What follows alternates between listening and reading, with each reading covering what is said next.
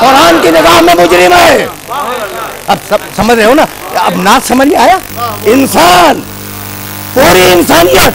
अब ये कोई जोग्राफियाई दीन नहीं है कि फला खत्ते के लिए हो, फला खत्ते के लिए ना हो। ये कोई कौमी या कबीलवी दीन नहीं है कि इस कौम के लिए हो, उस कौम के लिए ना हो।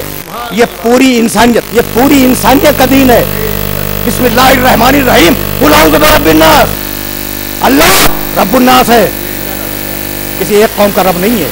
अच्छा भाई तो उसकी किताब, कुरान, शहरो, रमज़ान लजी उन जिला फ़ीहिल कुरान।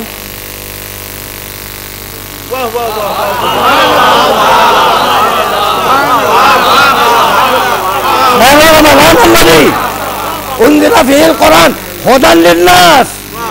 व बय्यनात मिनल हुदा व फुरकान। अल्लाह रब्बुन्नास उसकी किताब हुदन लिन्नास मिलाते जाओ। कुरान के मुख्तलिफ़ मकाम हैं। अच्छा भाई तो उसका घर? खाने काबा?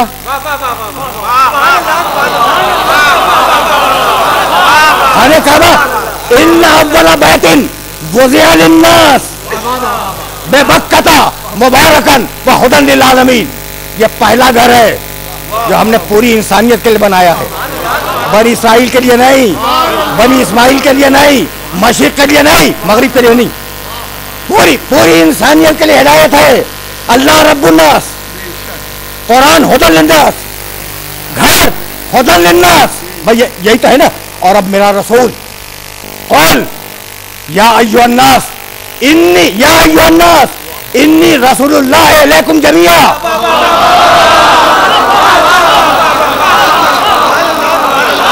रसूल, रसूलुन्नास।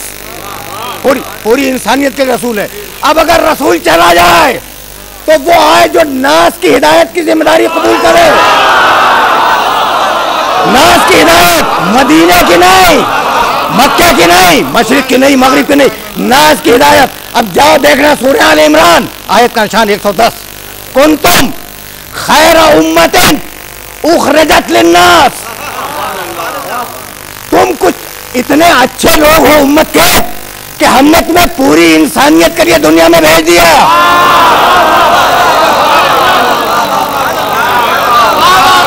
तुम तुम खैर उम्मतिन तुम इस उम्मत के बेहतरीन लोग हो सब नहीं और दलील तुम्हें इसलिए भेजा कि अमर बिल मारूफ करो अच्छाइयों का हुक्म दो। नहीं अनिल मुनकर करो, बुराइयों से रोको। क्या उम्मत का हर शख्स सारे मारूफ जानता है?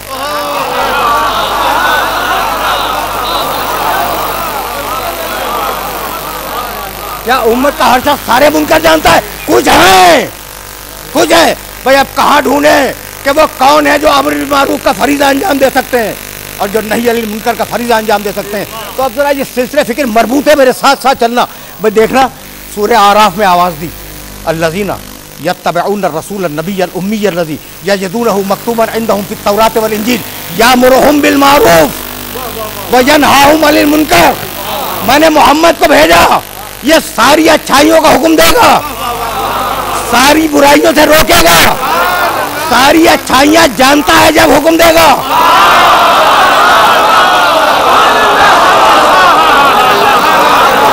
सारी बुराइयाँ जानता है जब तो रोकेगा भाई, बहुत तवज्जो रखना।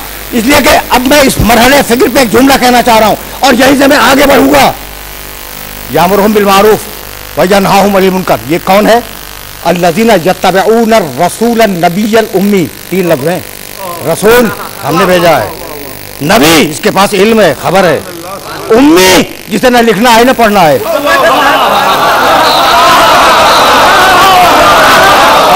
मसला क्या हुआ? भाई, मसला ये है कि अगर मैं कहूँ फला शख्स बड़ा जहीन है और बहुत पढ़ा लिखा है, लेकिन उसे लिखना पढ़ना नहीं आता। तो मकाम तारीफ़ में मजम्मत के अल्फाज को शामिल नहीं किया जाता। आम इंसान नहीं करते तो अल्लाह से क्या तवक्को है कि ये ये मकाम खत्म नबूवत है, जहाँ इल्म की तरखीज हो जाती है। अब ये जुमला मैंने कह दिया है तो सुनते जाओ, कुरान ने एक तारीख इल्म पेश की है। पढ़े लिखे लोग तशीफ फरमा है और जहाँ जहाँ मेरी आवाज़ आ रही है। देखो, कुरान ने दो आयतों में पूरी तारीख इल्म समेट दी। कहने लगा, वह अल्लामा आदम अल असमा कुल्ला। तारीख इल्म शुरू हुई, वह अल्लामा आदम अल असमा कुल्ला। तर्जुमा नहीं किया मैंने, और करूँगा भी नहीं।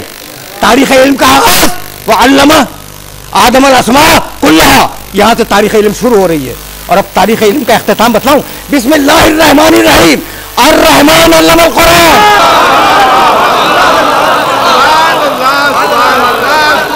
तारीख इल्म का आगाज़। तारीख इल्म का अख्ताम। अब दरमियान में क्या है? भाई सुनते चलो। थोड़ा सा थोड़ा सा मेरे साथ चलो। कुरान मजीद के मुख्तलिफ़ मराहिल की आयतें। वह अल्लामा आदम अल असमा कुल्लाहा। हमने आदम को इल्म असमा दे दिया। हंड्रेड परसेंट दे दिया। कुल्लाहा, हंड्रेड परसेंट दे दिया। सूर्य कैफ! ये सूर्य बकरा की आयत थी। सूर्य कैफ अल्लम ना हो मिन लदुन्ना इल्मा। हमने खिजर को अपने पास से खास इल्म दे दिया। सुलेमान के लिए कहने लगा उल्लिम्मा मंतक तैर सुलेमान के लहजे में परवदगार ने कुरान में कोट किया। कि हमने हमने सुलेमान को परिंदों से बोलने का इल्म दे दिया। देख रहे हो? यूसुफ के आयत दी सूरह यूसुफ में। अल्लमतनी मिन तावील हदीस मालिक तुझे मुझे ताबीर ख्वाब का इल्म दिया है। मैं शुक्रगुजार हूँ तेरा। दे, देखते चल रहे हो ईसा अलैहिस्सलाम के लिए आवाज़ दी। वही अल्लम तो कल किताब वल हिकमता व तौराता वल इंजील हमने तो तुझे ईसा, किताब दी, हिकमत दी, तौरात दी, इंजील दी।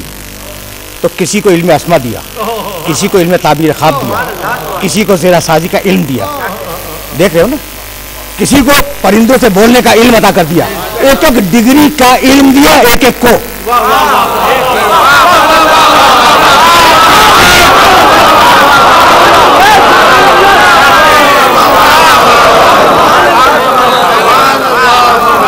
एक एक डिग्री का, एक एक डिग्री का इलम दिया एक अरब मंजिल खत्म नबूत आई कहने लगा अल्लाह का मालम तकुन तालम।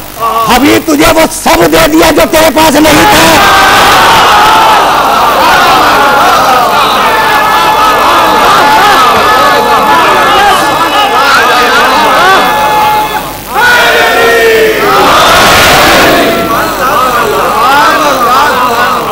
हबीब तुझे वो सब कुछ दे दिया जो तेरे पास नहीं था।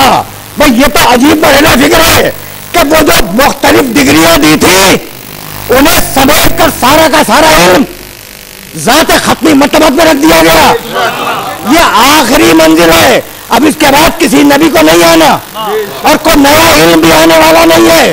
तो अब इसे तो हक है ना कि कहे अना मदीना तो इल्म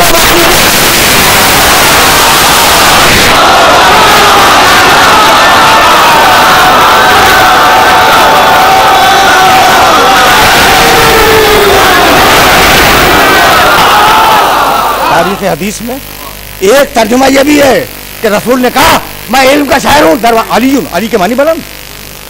उसका दरवाज़ा बहुत बुलंद है। भाई, तवज्जुहात मत बोल रहे। मैं पसंद करता हूँ इल्मी तहकीक को। मुझे इल्मी तहकीक पसंद है। यही कहा मेरे नबी ने कि मैं इल्म का शायर हूँ। दरवाज़ा बहुत बुलंद है। तो चूँकि शहर आदमी है, दरवाज़ा भी आदमी है।